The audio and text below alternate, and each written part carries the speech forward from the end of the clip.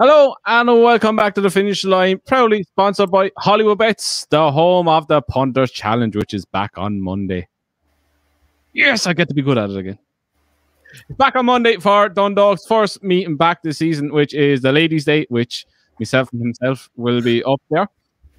Please come say hello. Because we have a load of stuff to give away. I got an email today. There's a load of stuff to give away to people. Wearing a suit not. Jesus. Yeah, absolutely. It's ladies' day. I'm making an effort. Suits, weddings, funerals, and Dundalk, eh? Hey, he's, he's getting a bit late in life now. He needs to kind of nail down a filly at this stage. You know, you'll see Andrew before. Um, you- you'll see him from far away anyway. With the Oh, I'm wearing the jacket. with the fucking jacket. I'm he's wearing the jacket. Just annoy him. What jacket? The jacket. He'll fit right in with all the racing UK lads up there anyway. That's all I know. I'll be next to Kevin Ryan and all the boys. I just looking forward to a day at the races, watching a few races, saying hello to a few lovely ladies, and then perhaps a pint of Guinness in the lovely hotel afterwards. I have a feeling this room is not going to be quiet. Crowne Plaza Hotel. Crown, Crowne Plaza Hotel, Shout yes. out to the Crowne Plaza Hotel.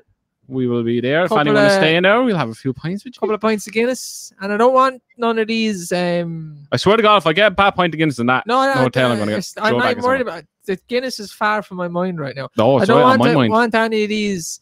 You know these bloody like paper towel uh, beer mats.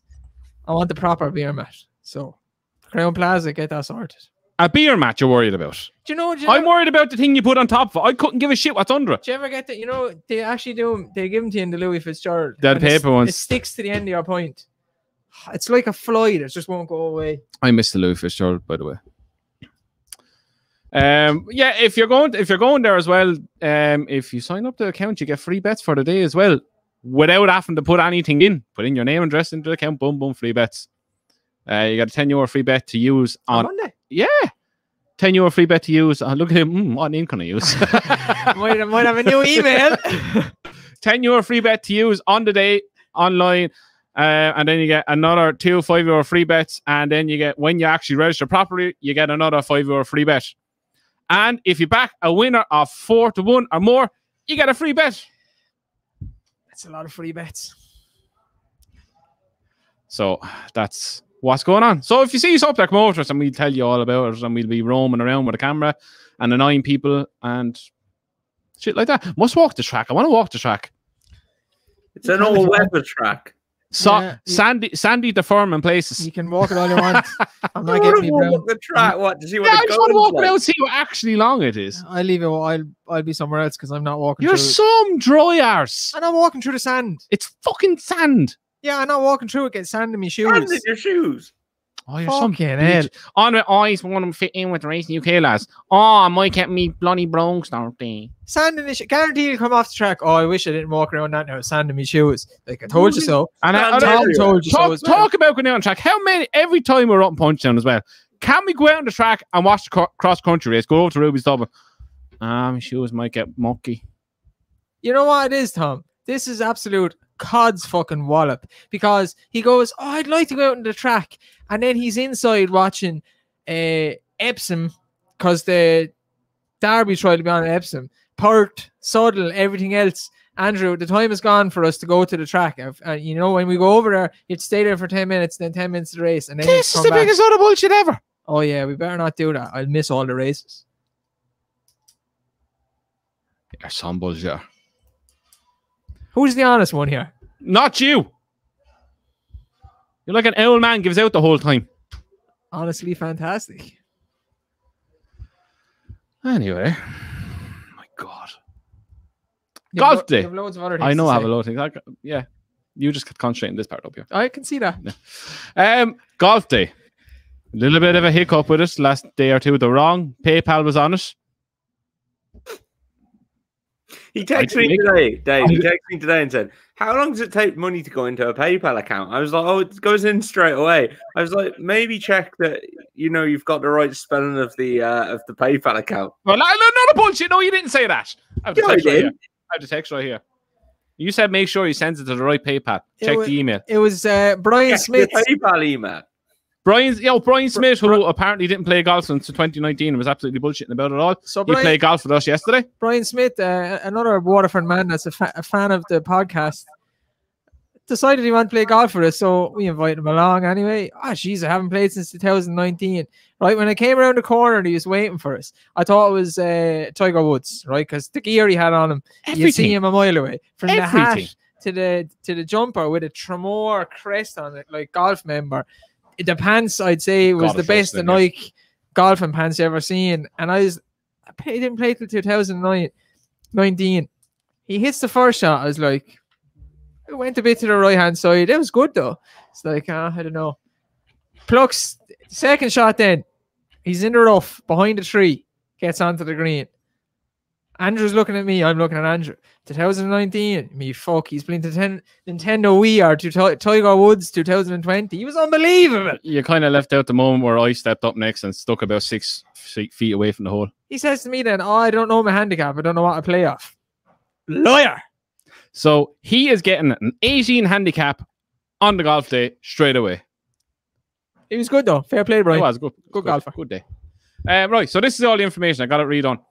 Um, it's the 20th of August. The tea times are between 12 o'clock in midday, obviously not nighttime, uh, 2 o'clock.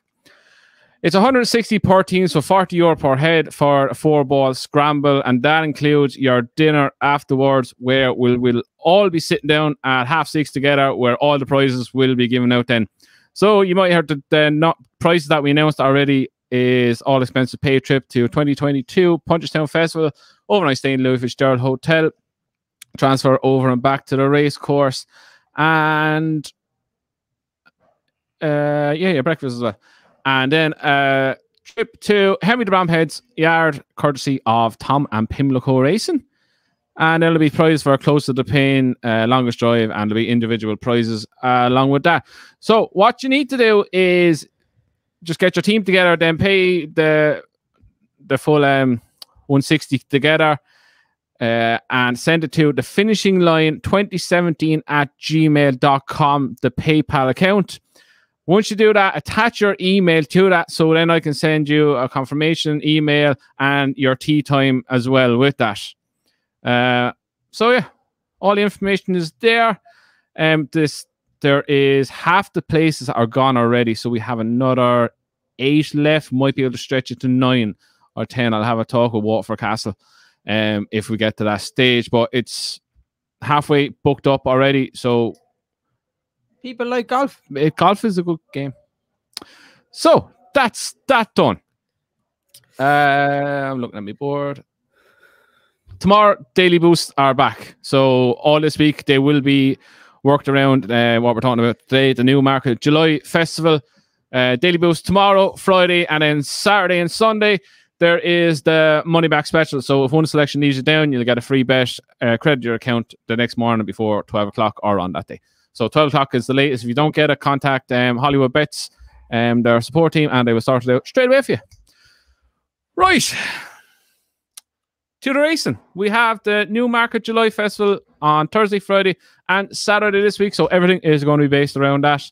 And David's going to be reading out the odds and uh, runners for it. And we're going to start tomorrow at 150, which is Uh, 150 Newmarket is the Bahrain Trophy Stakes, uh, Group 3. The favourite at 2 to 1 is Stowell. Um, Yibir second favourite around 9 to 4. Gear up 11 to 2. Andrew's definitely going to pick him because he's a Mark Johnston horse. No, because I told you already today. Oh, Did you? that that Ben Curtis is a good jockey from the front. I said, yeah, he's going to do the same thing tomorrow in the Oh, first race we meant. talk about. Oh, yeah. Uh, Mandu Just tell on about me not listen.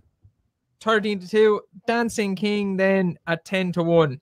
So small field, but uh, a good field. This is great. I like this when you do this. I get a little break. Go on, you go ahead. You see, you got the honors today. Look, you're going to pick up, but the the standout form is uh, Yibir, the Godolphin horse. Charlie Appleby, flying form. James Doyle, William Buick, doesn't seem to matter. Uh, his fourth in the race that the Derby winner came out of. Nope. Wait, we go back. Ah, yes. his third in the race, his third in the race that the Derby winner came out of, and that good horse of uh, William Haggas's, who's a, a Group one. with Tom, yeah. Thomas checking checking his phone to see. the Lions match. no, to see if they're coming home. It's not. He's checking the team, are you? No, I'm just watching a replay of a horse because I forgot to I forgot to watch it earlier. Remind me to do a bet before, because I need to do a bet for the match, and it'll, I'll be too late if we do it. Do it now. Do you know what as well, Tom? It's going to Rome. Denmark Let's are the value. Oh, Do you know what I'm saying to you? Four to one, nine to two. That's value in a two horse race, isn't it, Tom? Not not if the, uh, Well, not if the other team can't even beat Ireland. You're, you're, you're all about value, and would that not be value now when there's only two possible outcomes? Possibly three with a draw. No, but the value depends on their percentage chance of winning it, and their percentage chance of winning it is very low. So What therefore, the is it? What odds are representative of that. What percent is it? What you can guarantee in horse in football is the price is right. There's so much money bet on those markets. That price is correct. With half an hour to go before the match, that price is correct. But anyway, What happened last night, Dave? Before we get anywhere, Italia, Italia. Watch the board. Oh shit! Uh, That It's hard anthem is to- fantastic, though. I enjoyed that last night. It's Oh, a great, great game. Great game of football. Uh, Alenquer and Adayar is the standout piece of form. Lone Eagle was in that race as well. He was then second to Lone Eagle at Goodwood. Lone Eagle came out, ran a super race in the Irish Derby. Now, I think some of the three year olds are not that good, but in this lineup, I think his form is head and shoulders above the rest. I think they thought he was one of their better Colts coming into the season. Addy and Hurricane Lane might have progressed past him, but he's good enough to win a group two or a group three. Yeah, I agree. He's a standout form. Uh, I just think Gear Up hasn't got things right the, in his races this season. I don't know how uh, Stowell is the favourite. That baffles me. I thought you'd be. Yeah, I, I'm full sure your beer is going to go off favourite. I just think 11 to 2, 6 to 1 is a decent price for him. And um, look, he ran into Dante behind, Hurricane Lane, who was won the Irish Derby. Uh, Megallan, who's oh, he's she's in and out as much as the washing high definition. Look, has been he's just shit now. Uh, Roman Empire, who was second at Royal Ascot. Look, it's it's a small field angle with Mark Johnston and his front runners. As you said today, um, Ben Curtis very good from the front, can ride him very very well. I think they'll make the run with him. If they get the fractions right, I think he just could nick it from the front. Um, that yeah, I, th- I think he he'll go very close, and he has to beat Yibir. Um, if Yibir turns up in the form behind um, Alenquer or Lone Eagle, he'd be very hard to beat. But I think at the price is wrong with Gear Up, and I'm going to go with him. Tom, where are you going? Um, I'm actually with the favorite here. Um, I, I was just watching back his run there at Ascot because I I thought it was that race, but before I went harping on about it, I just wanted to be doubly sure. And um, he he was miles back that day, and when he challenged, instead of instead of waiting for another couple of strides, he, Frankie pulled him out on the bend, so he fanned wide. Then um, he had to come widest of all he was unlucky enough.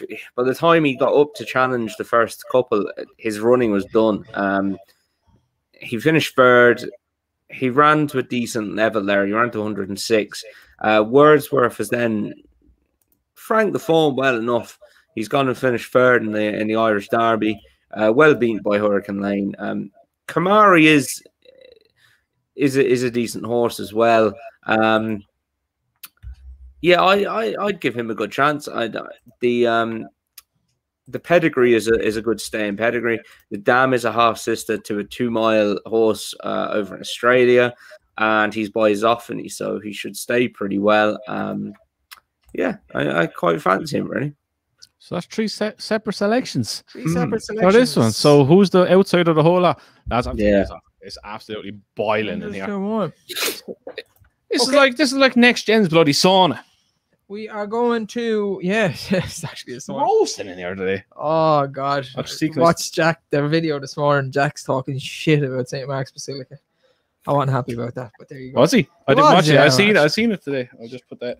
Sam knows what he's talking about. Hollywood bits. Um, so we're going on to the 335 at Newmarket. Uh, the Princess Ooh, of Wales's Horse racing friends. stakes. a Group Two for the older horses. Uh, Al Aasy is favorite. Odds on eight thirteen. Sir Ron Priestley nine to two. Highest ground five to one. Bangkok 14 to 1 and Star Safari 20 to 1. So another small field. Andrew. Tom. Are, Al Aasy Dave. could be about one to three. He wins. oh, that was fast. Well, I would be all about that until I seen him being a little bitch and not go past Sir or some Ron Priestley, your man, Pearl Pyledriver, driver. Pearl Driver. Pyledriver. I wouldn't put it past him not going down past him. I I I watched it back this morning when I was here, and I went then I went back and I looked through his form. All his wins have been on the bridle or been pushed out. Mhm. That doesn't scream to me someone who wants the bat. And every time he's been beat, he had to go through the pain barrier. He doesn't like it. And I picked out one like this last year. I can't remember who it was, but it's kind of same profile. All his wins have been on the bridle, you been either niggled out, pushed out, not touched with the whip. 100% hitting him on with Sir Ron. He, I know his last two runs haven't been great, but he gets back to the form of his first two wins on the back of his break, which he beat Pi- Pyledriver and beat him convincingly on his second run back.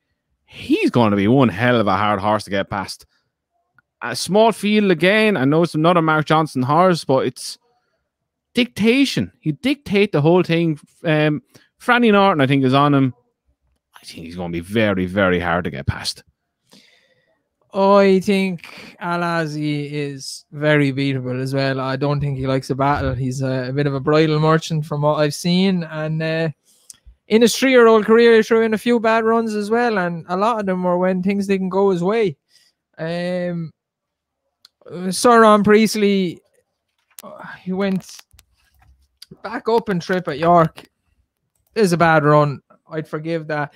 The actual Hardwicke Stakes is going to turn out to be a pretty decent piece of form. Broome has already come out won a grade one. Wonderful tonight is an absolute star mare if she gets her ground.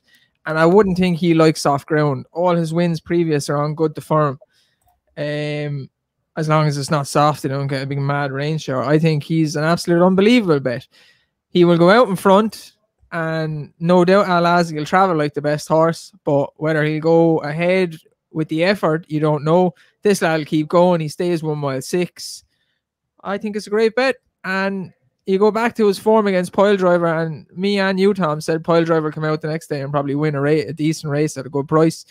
That's pretty good form. It's to me as good as anything Al Aasy has done. So I'm quite happy with Pyledriver. Uh, Sir Ron Priestley. Yeah, what I do- what I don't like about Al Alazi is he actually hit the front, and he didn't want to go through with it. I know he he went a good head in front. Pearl Drive, I know he had the rail and everything to go with it, but he should have won the race. People say he was too far back. He wasn't too far back. He had loads of time to go past them. He had a good furlong to go past them. key is Mark Johnston had kind of a slump there for two or three weeks as well. He's had a couple of winners now. He's come back into form, which is about the right time for his horse to come back into form. For They're always in form for Goodwood. So stay on Mark Johnston now for the next couple of weeks. Okay, Friday. We're moving on quick tonight. I have a guess there's a match on tonight. Friday, the 225, the Duchess of Cambridge Stakes. A group two over six furlongs for the two year old fillies. The favorite is Sandrine at 13 to 8, Hello You 7 to 2, Oscula 4 to 1, Flotus, Frankie Flotus, that's a great name. 13 to 2, Desert Dreamer 12 to 1, Sadma 12 to 1, and then 20 to 1 Bar. I'm going to do it, Tom. I just think Sandrine wins. Look, doesn't she's she's beaten the second favorite and third favorite in at um, in the Albany, beaten well, beaten beat him convincingly. There's no reason in my mind why the form be frank. Your your hopes are resting on better ground. I just think she goes and wins. Uh, and the one who I would fear is Desert Dream, but I just think I think Sandrine just wins. I was that's the way I look at it.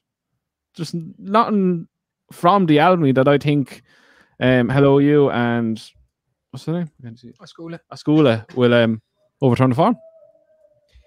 Uh, I'll go with hello Frankie's on it. I'll go with Flo- Tom, get on Beth there and start laying the living daylights out of this yoke. uh, Flotus, Simon and Ed Crisford's horse. Uh, she's very impressive in her maiden at Goodwood, won first time up, and she actually went off favourite for the the Albany. Um, it can't have been her running. She won on soft at Goodwood, but it was heavy at Ascot, and it was like proper heavy. Um, it was hard to get through. With the ground different, and how much they seem to think of her after she won that day, I'd give her a chance. I think she's a good price around 13 2 7 to 1. Tom, how are you thinking about this one?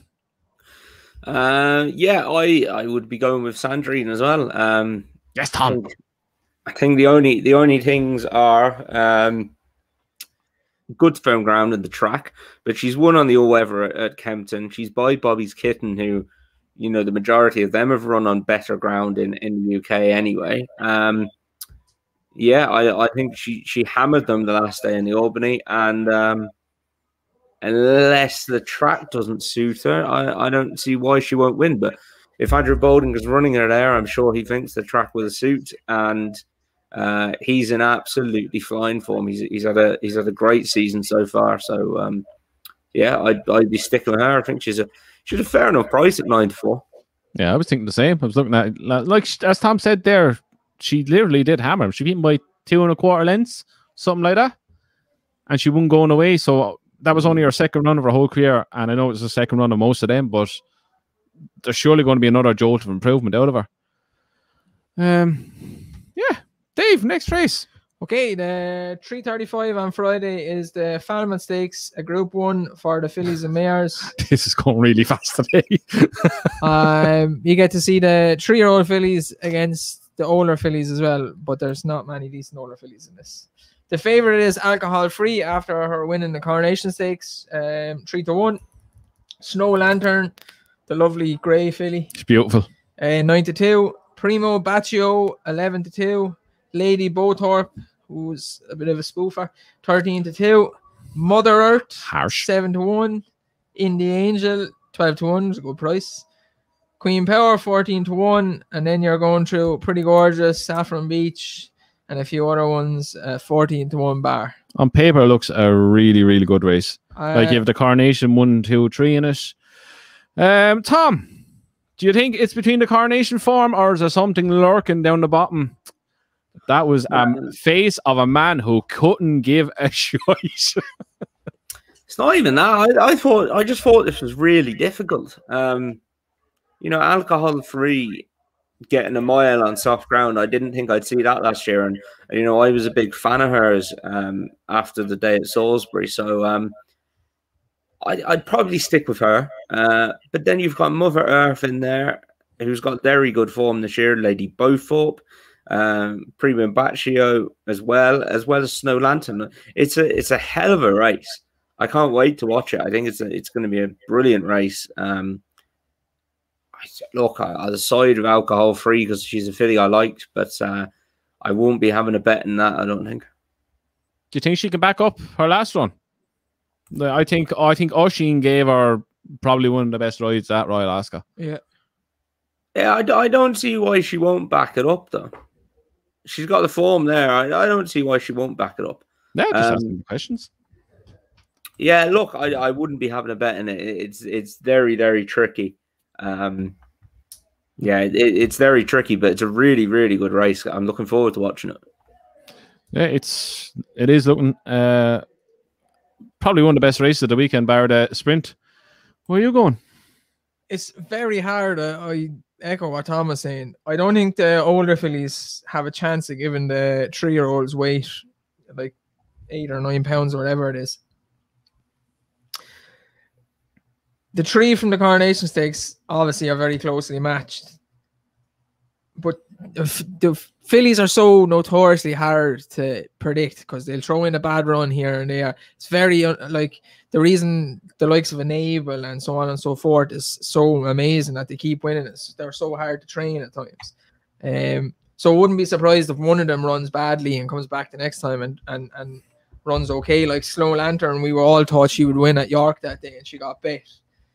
She came back out and boosted that form. I actually don't think it was that bad of a run when you look back at it. And I think the horse to be on at the price, because she should be shorter than Snow Lantern, is Primo Baccio.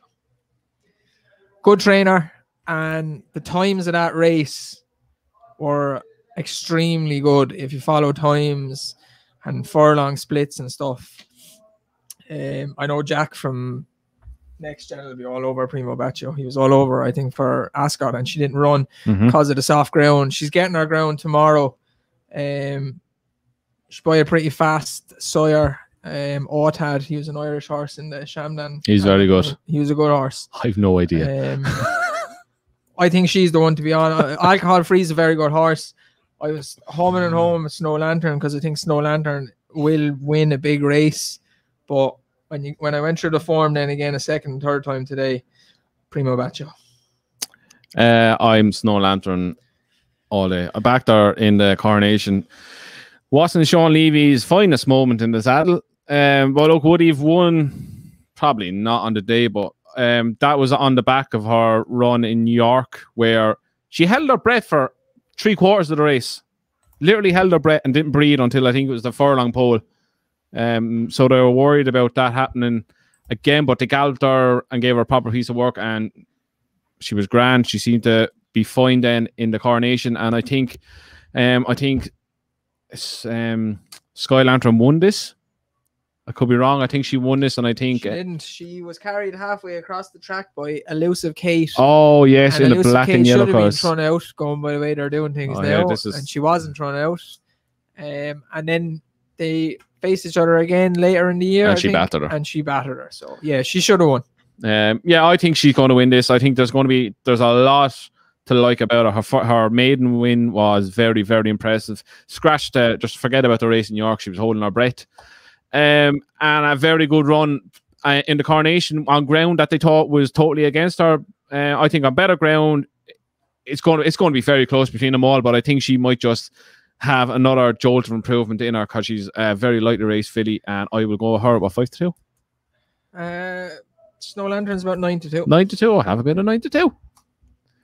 So that's Snow Lantern for me. We're on to Saturday, three fifteen. Saturday, uh, three fifteen is the superlative stakes, uh, Group Two for the Colts, seven furlongs. It's usually a good race.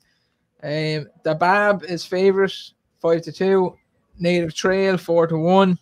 Great Max, six to one.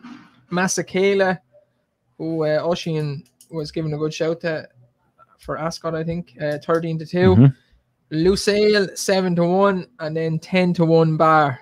Um, there's a good few horses in this. It's actually one of the group races that has a few runners in it instead of the It's four. like a ha- it's like a handicap. Yeah. Very hard. So go on, you go. Uh, very very hard. I. It's not the most inspiring race for what it is, um, but great max for me. I'm going to go with the uh, Point Port Lonsdale for him. That good um, two-year-old Yeah. that won on the Saturday of Royal Ascot. He was third in the race. Uh, I'll give him a shot. Michael Bell, he wouldn't have the best horses in the world from year to year, but when he gets a good one, he can win good races with him. You saw with the the stayer he had. What was his name? Big Orange, Big orange. and he had uh, Sariska a few years ago. So this yoke might be a decent horse. Six one, not bad. Tom, where are you going?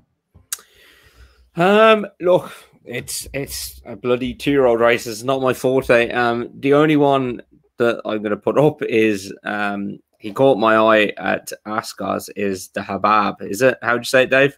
The Bab. The Bab. Um, Bab, bab. Sounds like Yeah. a boat that's going to be out in your garden soon. Uh, he uh, he didn't get a best ride by Rob Havlin. Um, wouldn't have beaten Berkshire Shadow, I don't think, but I, I think he could have been second, if not third.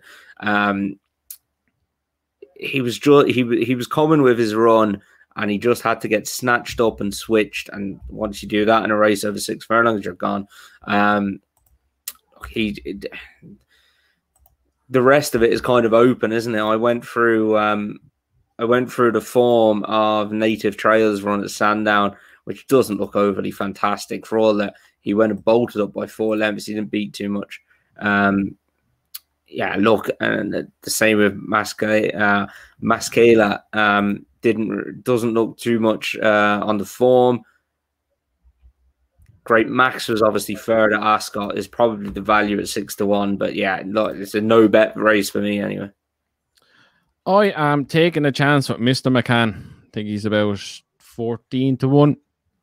Uh, he's 2 from 3 in his whole career. He got beat on his debut, won on the all weather Lingfield, and then he took his form to the next level, winning by two and three quarter lengths from the front, beating Triple Time, who has form with the favour as well.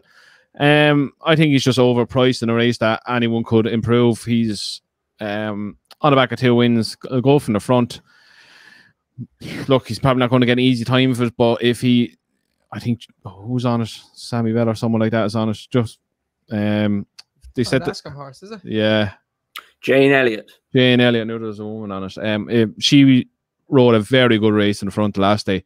Uh, keep to the same tactics, do the same again. I can't see being out in the frame to 12, 14 to 1. I think it's a good each way bet in a race that God only knows what could win it. Yeah, very high race to call. It's like a bloody four year old hurdle with unraced horses. It's, uh, I can't wait to call to preview them. it's hard graph. okay, on to the last race of the week that we're covering the Darley July Cup, Redemption time. which is always a really good race, good sprint, uh, a Group One. Favorite is Oxted, uh, four to one. Starman is four to one. The Dragon Symbol is nine to two. The dragon symbol. Creative Force is six to one. Glen Shiel nine to one. Art Power, who ran actually a really good race, that's got sixteen to one. The Lope Y Fernandez is back in a sprint again, sixteen to one. Mad fucker that fella. And then 16 to 1 bar with some good horses like Chil Chil, Supremacy, Method. Uh, a really good race. How just run him over any trip. Next he'll be in the bloody I put him over Oh, five I'm in the furlongs. triumph hurdle next. Yeah, five furlongs. He's a lunatic. Right. Um go on, Dragon Symbol, redemption time, yes or no? It's, the same. It's the time of year for three year olds against older horses. Uh, is a great horse. uh, Proved that two Group One wins now. Starman is coming up again. Six pounds. Uh, Starman's coming up again. His form was Frank by Oxted at uh, Royal Ascot. I respect him, but I just can't see them giving six pounds to the three year olds. Um, Dragon Symbol, he should have won. He did win the Commonwealth Cup at Royal Ascot. Has a great record coming to this race. Uh, whether it be placed horses or, or winners of it come along to this race and usually do the business. Um, it's usually a three year old at this time. Dragon Symbol definitely for me, but Creative Force, the Godolphin horse, is an absolute weapon as well. I think him and Creative Force will be one and two. Hmm. Disregarding last year's winner. Yes. Wow. Tom, where are you going? Last year's winner, or are we going for the three year olds? This this is another brilliant race. Um, the the, the Falmouth and this, I, I'm really looking forward to watching them. Um, some of me wants to stay with Starman, um, but I'm put off by what Dave said. The six pound allowance to three year olds. Um, Dragon Symbol has improved, and improved, and improved, hasn't he? And the form of his last two runs is every bit as good as his other wins. Um, he's won on good to firm ground um, and run to a decent RPR there. So I, I can't see that being a problem. Um, him and Campanelle, I know they went a long way right, but you know they were five lengths clear of the third, and um, oh, look, it should be a hell of a race. But yeah, he's probably my selection. I think he's a fair price at five to one. Oh, me. he, he's a very fair price because if he had a run straight, right, and like what you said, Tom, with the five lane gap in a group one, I know it's against three year olds, but there's still good horses behind him. Five lane gap. If he had a ran straight, he would have beaten Campanelle by probably a length. So he's six lengths ahead of those. He'd definitely be favourite for this if he had a one. Yeah, Uh, I. I think this is another Dragon Symbol just wins. Like the form and how himself and Campanelle went clear at Ascot.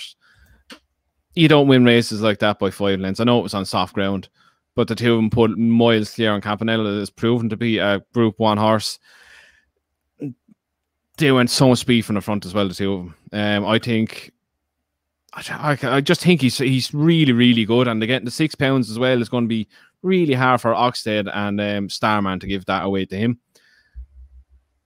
It's just even the story to it. The story alone, It's a bit of redemption. Yeah, it? it's redemption for him. I think he's just going to win, and I'll be shocked if he does be beat. I know Oxted is on the crest of the wave after winning that Ascot as well. Starman missed it, but was on the back of a good win. Uh, Celestial Force won at Ascot as well, and very impressive. He was a group horse hiding in the handicap. Um, look, the rest of them are much and much. Glenn Shields, Art Power, who bombed out at Ascot. Um, There's going to be a lot of pace in this again with the likes of Creative Force and Art Power, in it, and it, it should actually play into you the can- hands of Dragon Symbol. He'll sit behind it. Um, he that's the wants- thing with him. Oisin can literally put him anywhere. It's very fast. It's very tractable in races and all that. It just looks like it's it's made. And the thing he has going from as a three year old as well, going on what he done in Ascot, he stays further. Yeah. So it won't matter if they go 100 miles an hour, he'll be able to stay further than five furlongs. Can we say that about the rest of them with the amount of pace and in it? Probably not. Lope Y Fernandez definitely stay, but he he might be the one to grab a place because he's the horse that'll be 20 to 1 every time he is and he'll grab a place somewhere. But I think, yeah, I think just think Dragon Symbol will be very hard to be here. the Jersey winner, Creative Force, is a really good horse, but he just I do think he he probably set it up for Dragon Symbol, and I was worried all week with the the thoughts that Rohaan was going to run, um, but he's not running now. So Mm. that form of that race at Haydock between him and Rohaan, the way Rohaan won the the Woking at Royal Ascot as well, he's uh, like He's he. Do you know what the He- thing with him though? He's going to go under the radar. he again. won it so easy. It's unbelievable. There are so many good horses in that race as well. But the ride he was given coming from the back, he's just put on the line in front. He could have won it by way more. Mm. And that form stood up with Dragon Symbol in the Commonwealth Cup as well. It did.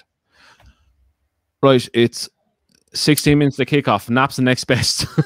Uh, my nap is Dragon Symbol, and my next best is Yibir tomorrow. Tom, My nap is Sandrine, and my next best is Dragon Symbol. uh, Nap, Dragon Symbol, next best, Snow Lantern. Quick one Is this it- week. It's, a under- good bit of racing, though, isn't it? the, the sprint and uh, with Snow Lantern, all them in. That's very, very good racing. The the, Dar- the July Cup is it has been a great race for me through the years uh, of watching racing and like flat racing. Um, so many winners of I've back to the U.S. Navy flag. Remember the Dream Ahead? Remember him years ago? Yes. Um, so many other three year olds and stuff. Yeah, you do remember. He was around the same time.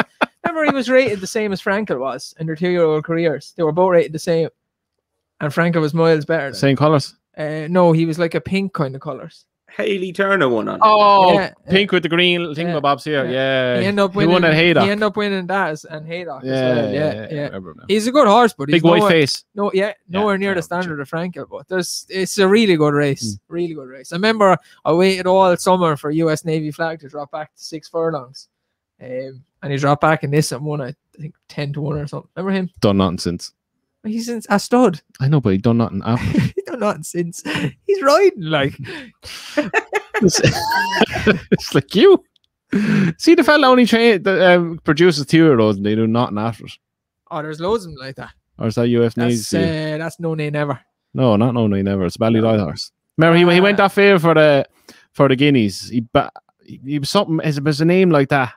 Air Force Blue. Air Force Blue. Yeah, same. Um, right, that's us done. We're not back Sunday. There's no talking points this week because It's I coming home. Oh, well, you were thinking of Warfront. Yeah, Warfront. to- Oh, loads of oh, Group One, Two year olds. They never went Tom three. talking shite again. Just bypass that.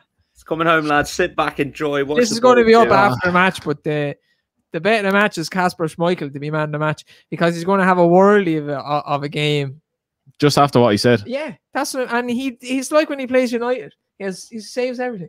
He's, He's the gonna have best. to. he's the He's going to best. have a worldly of a game, and Kasper Dolberg is going to score. Back it then. I am. All right, boy.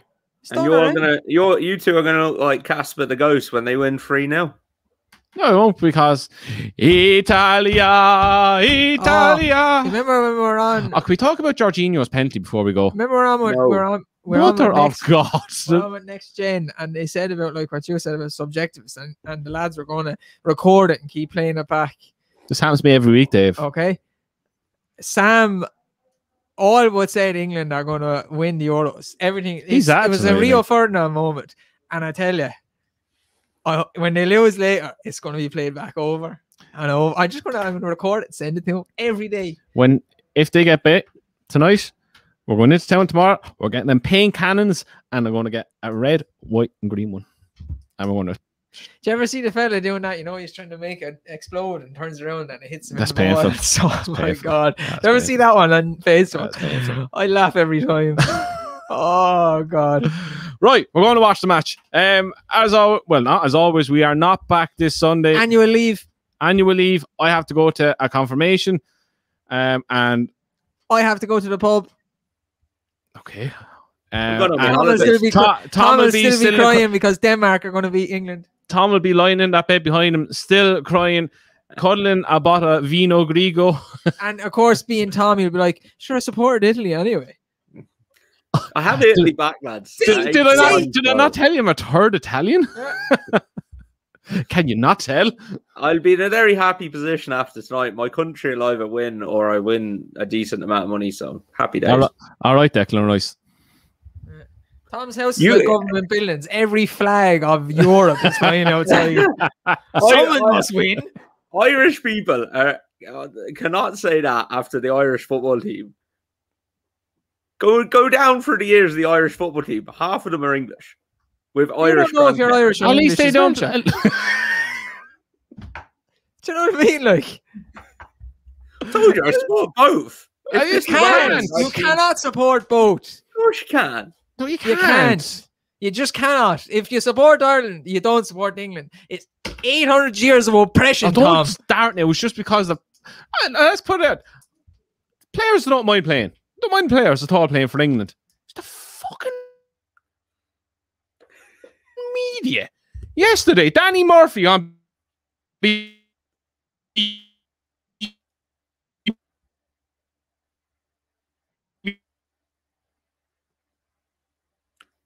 You've frozen, and this is perfect timing.